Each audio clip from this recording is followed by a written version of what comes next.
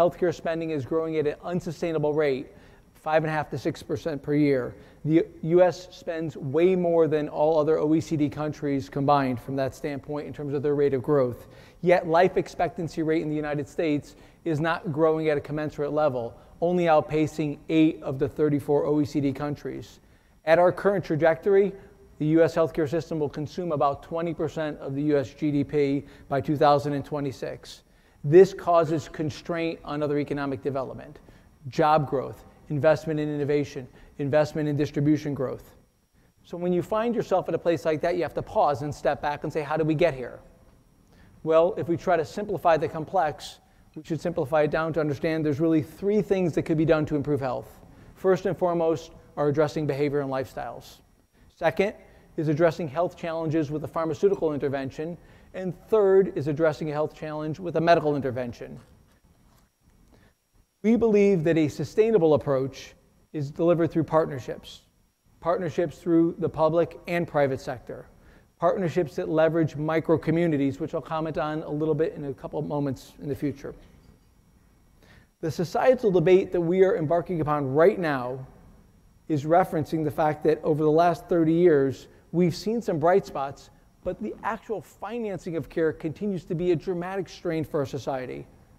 You all will recognize chapters we've gone through of managed care, where certain bright spots existed, but the constraint of access to care and the administrative burden actually outweighed its benefit. To a more recent chapter where individuals more actively engaged and supported through, through their lifestyle, through their health care, through their chronic disease management where healthcare professional partners began to get rewarded based on the value and quality of the service they were delivering, not just for the volume of the services. Increasingly, that value based care or aligned incentive program we think is mission critical. Today, as a country, 90% of Americans have access to healthcare programs and services, either through employer sponsored programs, Medicare, Medicaid, or other government sponsored programs. Yet we still have somewhere in excess of 10 11% of our population that doesn't have access to programs. It's in excess of 30 million people. Two thirds of that 30 million um, individuals have access to Medicaid or highly subsidized government sponsored program, yet do not signed up or are not signed up. We need to step into that void and get those individuals signed up. Yet one third or approximately 10 million Americans do not have an adequate solution today that they deem as affordable and new innovations around employer sponsored program and government sponsored programs we think are important. How much of that is the responsibility of participants in the healthcare sector writ large and, and your partners, providers, payers, and how much is really just individual accountability, individual circumstances, societal determinants, whatever you'd like to call them? How, how can we change those things? So, so let's take um, a term that many people in here know social determinants of health, um, whether we want to go Bronzeville or, or otherwise. We know that the data would show us that there are certain indicators that would suggest a massive health risk will take place.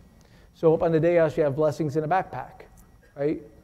Um, their leadership is stepping up to a different challenge they're stepping up, Brooke and team are stepping up to a different challenge because the data shows us that if children are hungry, they will not be healthy.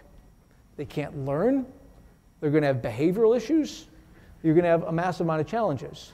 Well, food is being solved in many ways in the school. What happens after school's over? Blessing in a Backpack is feeding thousands of kids over the weekend.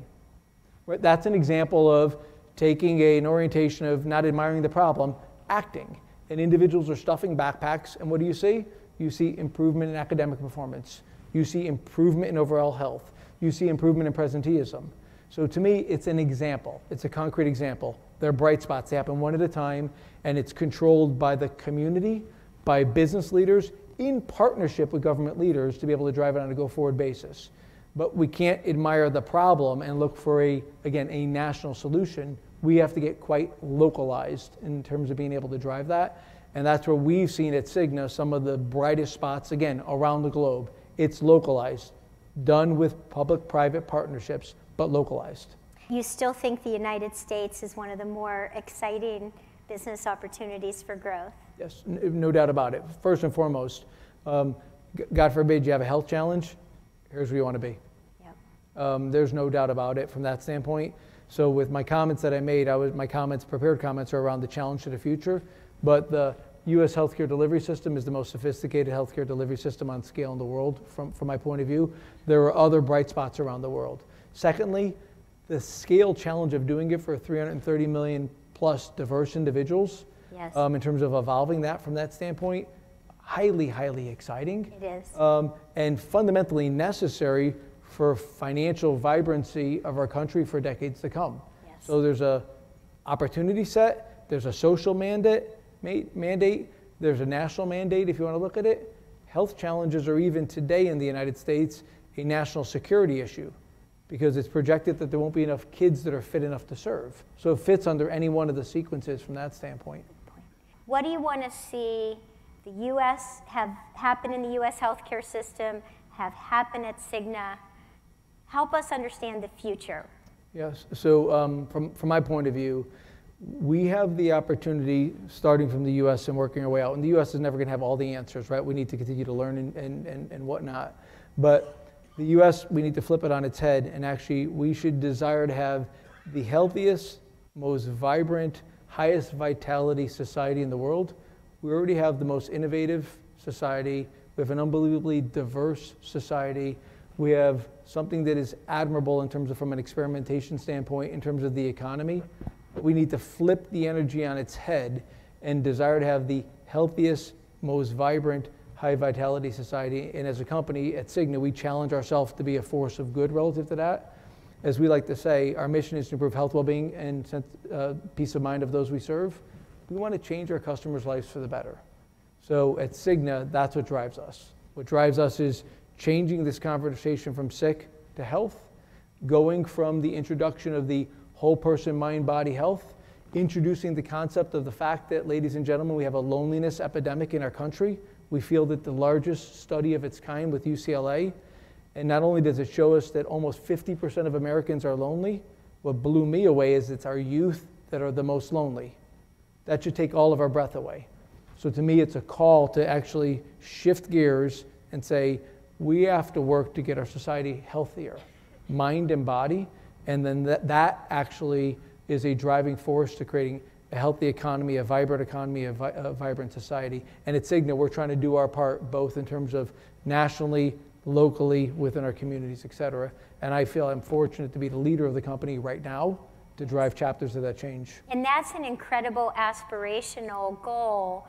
If you could set up a framework of the healthcare system in the United States that would enable that goal, could you simply describe what that might look like? I do three things.